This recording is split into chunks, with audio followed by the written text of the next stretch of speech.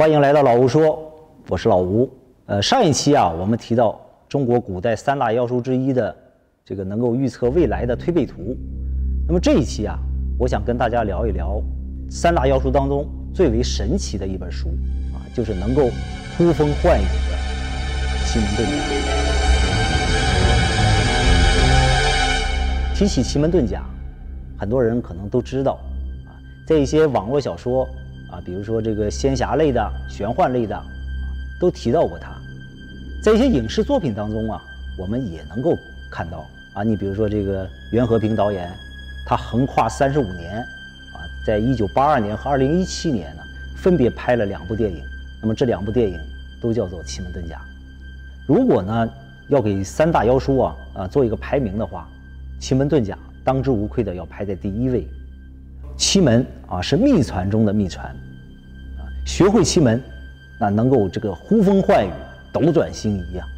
易经大家都知道，啊它呢要比易经还要高级。在中国古代呀，有三大秘宝，就是这个术数著作当中有三大秘宝：奇门、六壬、太乙。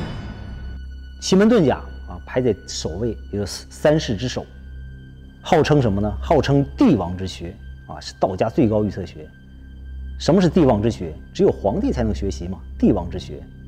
所以说它的内容啊是极端守密的，别人不能盗用啊。一经发现，直接斩首无论，直接砍头啊，不用讨论。所以说奇门遁甲它从过去流传到现在啊，都是单线传下来的。啊，每一个时代只有一个传人，而且都是师傅亲口传授给弟子，必须是十二岁以下的童男啊。你谢过经不行啊，你谢过经你就学不到真正的这个奇门遁。所以说，奇门啊是秘传中的秘传，它的可怕之处在于哪？它的可怕之处在于，它是世界上唯一的能够随意控制对方的命运学。想一想。真的很可怕，奇门遁甲呀，相传是这个呃九天玄女传授给皇帝的。呃，提起九天玄女啊，有好多人认为这个九天玄女就是这个女娲娘娘啊。其实如果你是仔细这个考证的话，九天玄女是出现在女娲娘娘之后的。女娲娘娘是谁呀？啊，女娲娘娘是混沌初开啊，天地出现之后啊出现的这个神，她创造了人类。啊，并且传授给人类这个繁衍生存的这个能力，而九天玄女呢，她负责的是向人们传授这个兵法啊，这个策略的这个神啊。当然了，他们两个人都是这个守护人间正义的这个善良之神啊。那么奇门遁甲呀，出现在这个四千六百多年前啊，这个黄帝和蚩尤的这个战争之中。这个蚩尤啊，大家可能都知道。他是上古时期的这个三神之一啊，被称为这个兵主战神，战神嘛，战无不胜。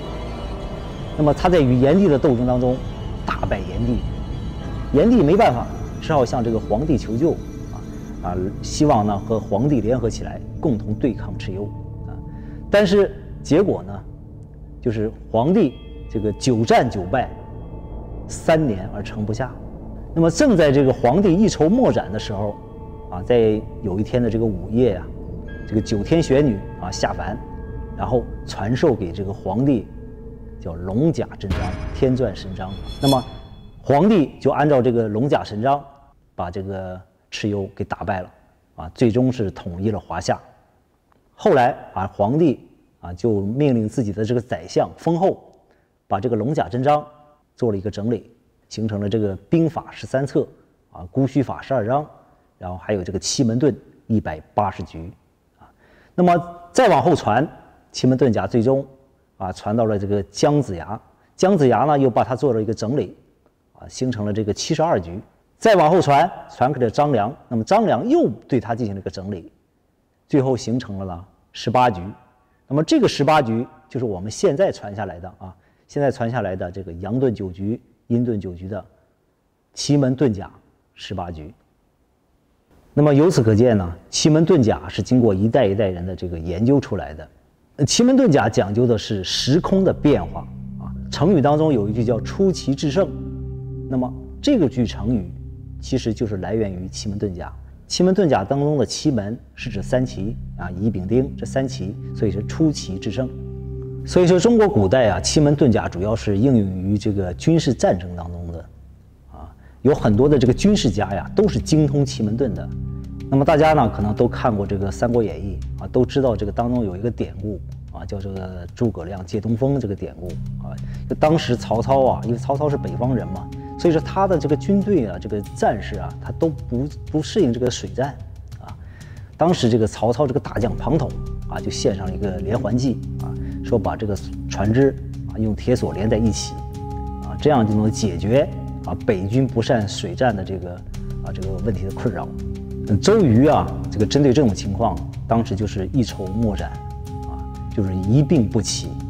那么在诸葛亮去探访周瑜的时候啊，就给周瑜啊写了一封密信啊。当时密信当中啊只有这个十六个字，这个欲破曹军，必用火攻。啊万事俱备，只欠东风。而当时的季节啊，只有这个西风、北风，啊，没有东风、南风。那么诸葛亮呢，啊，就开坛布法。其实在这里呢，诸葛亮其实是利用了奇门遁甲，他用奇门遁甲起了一局。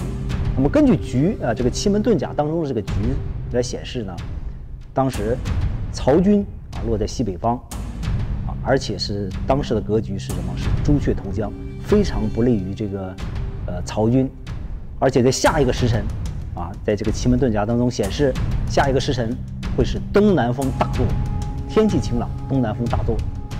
那么诸葛亮呢，正是利用这一个奇门遁甲，打败了这个曹军。那么除了诸葛亮，我们还知道这个后世还有一个刘伯温，啊，呃，提起这个诸葛亮和刘伯温呢，啊，大家都知道。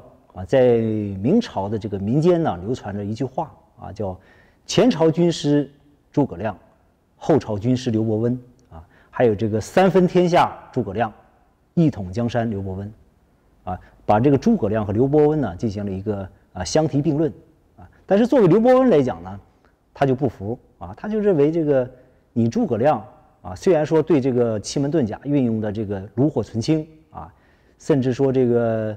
呃，对奇门遁甲的这个运用已经达到了一个登峰造极的地步。但是我刘伯刘伯温也不差呀。你诸葛亮啊，虽然说你称为天才，但是你最终的结果是啊国破家这个家亡。而我刘伯温呢，是开创了一个时代。所以说刘刘伯温的这当时的这个内心是非常这个不服气的。那当时这个刘伯温呢，心里啊就想这个去挖掘这个诸葛亮的这个坟墓啊。呃，他就认为说，你你你看看你这个诸葛孔明啊，你能不能够预测到我要去挖你的这个坟墓啊？甚至在出发前呢，刘伯温还这个说了一句戏言啊，说如果诸葛亮你能够预测到我要挖你的坟墓啊，那么我跪地磕头一千个啊。如果你预料不到，那么你就挨五三尺。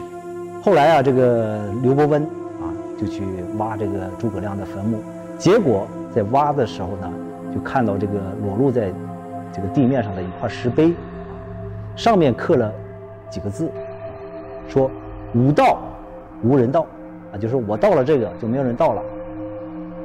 那么刘伯温呢，当时心里就高兴，说：“你看看，他诸葛亮根本就预测不到啊，我这个要去挖这个呃你的坟墓啊。”那么再往下看，还有一行字，只有伯温到。当时这个刘伯温呢，心里就大惊，所以就是跪地啊磕了一千个头。这是诸葛亮对奇门遁甲的一个应用啊，因为他已经利用这个奇门遁甲，已经算出了一千多年后的刘伯温啊要来挖他的坟墓。所以说奇门遁甲呀，它是讲究一个时空啊时空的一个一个学科啊，非常的神奇。还有我们知道的这个姜子牙。这个孙膑还有这个毛爷爷啊，都是啊精通于奇门遁的。当然了啊，到了现在啊，科随着科学技术的发展啊，那么呃军事对峙啊已经不是平面上的，所以说奇门遁呢主要应用于啊这个预测了啊，比如说这个预测工作啊，预测预测这个事业，预测婚姻啊等等等等。奇门遁甲啊，它分为这个累奇门和数奇门。那么垒奇门呢，就是我们呃用来预测的；而术奇门啊，就是我们在这个影视作品当中所看到的这个法术奇门。你比如说一些符篆呐，然后这个这个阵法呀，它都属于这个术奇门。在民间有一句话啊，叫什么呢？叫“学会奇门遁，来人不用问”，啊，什么意思？我今天起了一局啊，就是用奇门遁甲起了一局啊，哎，有个朋友要来。当然，你如果会的话，你就在这个奇门遁甲当中，你会看到，在这一局当中，你会看到啊，来的朋友，他的性别，他会坐在哪个方位，然后他会说什么事儿啊，我们全都能够在奇门遁甲当中啊见到。你再比如说啊，你用奇门遁甲去这个借钱啊要债，你如果会奇门遁，那么你去借钱的话，别人是不会拒绝你的啊。比如说你要去借一千块钱，那么你用奇门遁甲，你可能能借到十万啊！当然了，前提是对方得有啊。那么还有啊，曾经有一个网友啊，利用奇门遁去干嘛呀？去这个赌博啊，结果用奇门遁用了二十四次，有二十三次赢了钱，其中有一次是因为呢不会用奇门遁甲呀，是一个非常复杂的一个方法啊。